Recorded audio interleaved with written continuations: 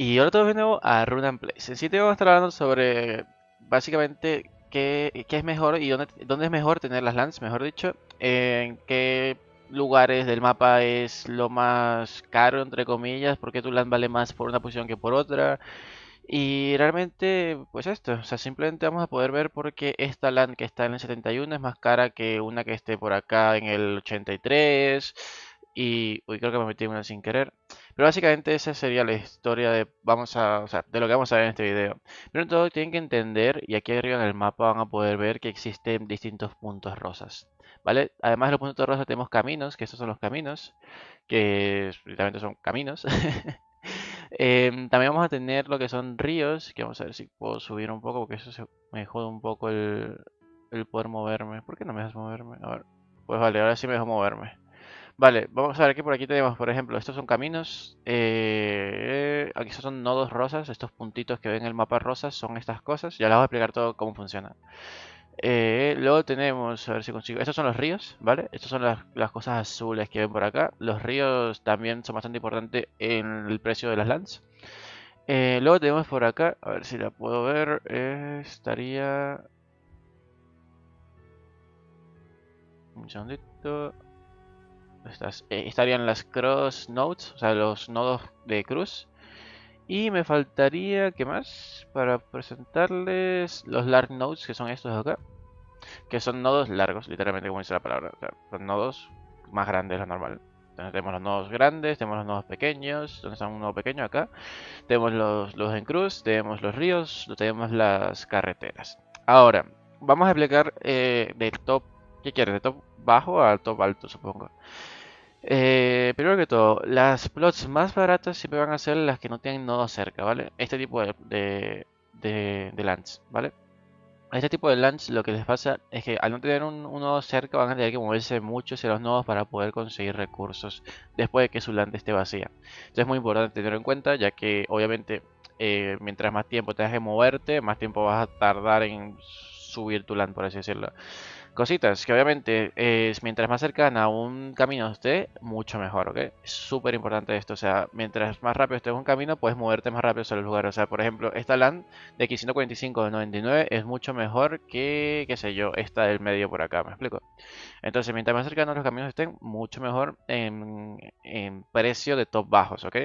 Dejemos de, como el último, el floor price, son las lands que no tienen acceso a a caminos y están muy centradas y lejos de nodos. Como por ejemplo, nodos. Ay, se me salió esto.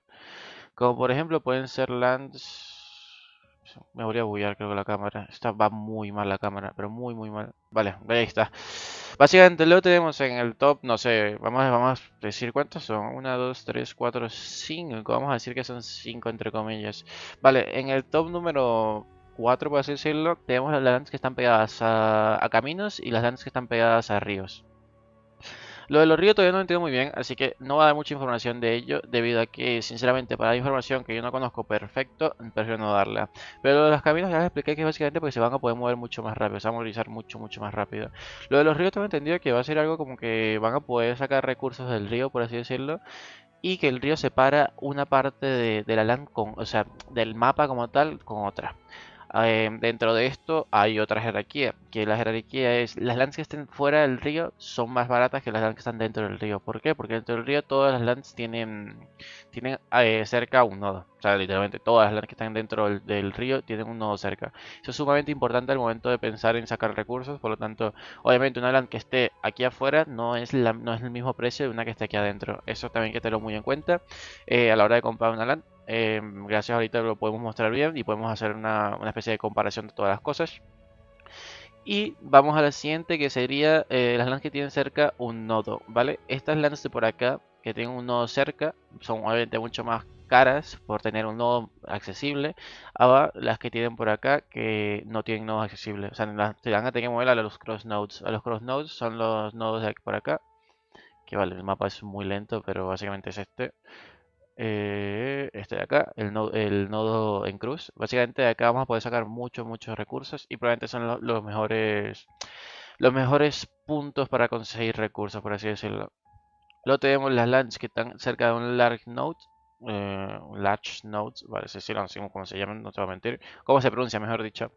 Eh, que son las, las lands que tienen nodos grandes cerca. Eh, esto obviamente es mejor que un nodo pequeño, por lo que si veo por acá, si no me equivoco, nodo pequeño, vale, si voy por acá estoy casi seguro, no, abajo a la derecha, es duro conseguir acá, bueno, aquí está, esto es un nodo largo, un nodo de estos grandotes, eh, las LAN que están por aquí cerca valen mucho más que las LAN que tienen un nodo pequeño al lado personal, por así decirlo, por ejemplo, una, una LAN que tenga acceso a un nodo pequeño es caro, está bastante buena, pero una LAN que tenga un acceso a un nodo grande es mucho mejor, muchísimo mejor, o sea, de verdad, muchísimo mejor, ¿vale? Importa que tengan esto en cuenta. Y ya por último, eh, las LANs más caras y las mejores que hay, sin duda, son las LANs con Crossnode.